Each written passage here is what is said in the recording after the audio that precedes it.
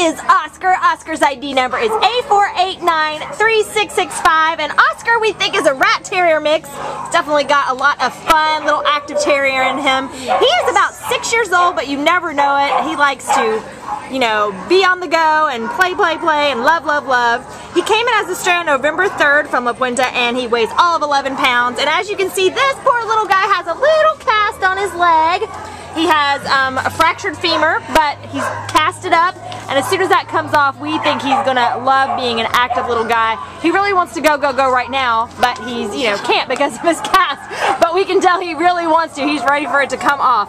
He likes other dogs a lot. He loves people. He's super friendly, as you can see. He's good on your lap also, and he's shown signs of being housebroken. So this little guy we think is gonna make an excellent family member. He'd be great running around the yard with kids, enough to fit in an apartment.